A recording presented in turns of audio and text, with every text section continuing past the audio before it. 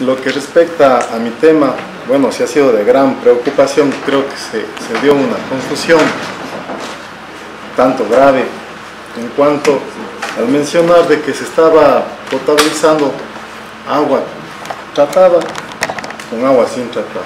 Es, es grave la situación, es grave. No se ha hecho nunca eso, no se ha hecho nunca. Hay dos procesos para los cuales están diseñados en la planta de tratamiento, en los cuales se puede hacer la operación. El uno es de filtración directa, ¿sí? donde se utilizan coagulación, filtración y cloración. Y el otro, la otra manera de procesar el agua es a través de coagulación, floculación, sedimentación, filtración y cloración. Ahora, este método de filtración directa, según consta en los estudios del diseño de la planta de agua potable realizados por el ingeniero Diego Hidrobo, una persona con mucha experiencia en procesamiento de agua potable, nos da la posibilidad de realizar filtración directa. Filtración directa. Cuando el agua a tratar presenta buenas condiciones, es posible tratar el agua solamente mediante coagulación y filtración. O sea, es un proceso técnico. Entonces, estas condiciones se dan, se dan en verano. Se dan en el verano y lo cual nos permite hacer la filtración directa. ¿Por qué hemos tenido que hacer la filtración directa? Justamente es por el gran caudal que estamos procesando.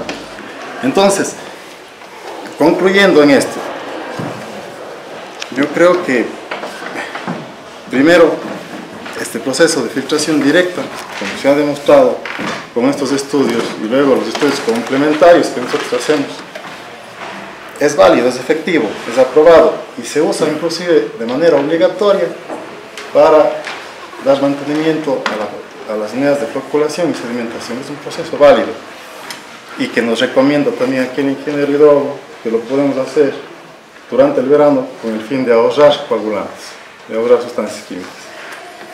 Nunca se agua tratada sin con agua sin tratar y agua tratada. También se había manifestado de que hay unos parámetros físicos que se han incumplido. Yo aquí también, bueno, si quisiera dejar en claro qué parámetros físicos no se han cumplido. ¿Cuáles son? Porque si es que los hay, habrá que darle la solución pertinente. ¿Y en base a qué? Es que no hay una justificación sustentada, ¿en base a qué? No hay parámetros físicos que no se estén cumpliendo. Y esto lo corrobora los análisis que tenemos hechos en etapa, los análisis que hemos hecho nosotros, los análisis que se ha hecho por parte de que se han hecho en la universidad, tengo igual de los otros meses también, pero aquí tengo en mis manos del, mes de abril, recibido por el ingeniero Espinosa acerca del proceso de potabilización. Son análisis diarios que se hacen también ahí. Lo hago yo, también lo hacen los operadores que están a cargo. pequeñas recomendaciones, yo creo que sobre todo, como ya se había manifestado, es necesario hacer un, control en las fugas. En las fugas eso nos evitaría de que se sobrecargue, sobre todo en la etapa invernal. Ya no podemos hacer esto de filtración directa, es imposible que lo hagamos. Por lo tanto, por lo general en invierno se consume menos agua también. Siempre ha pasado eso, todos los años se vuelve a repetir.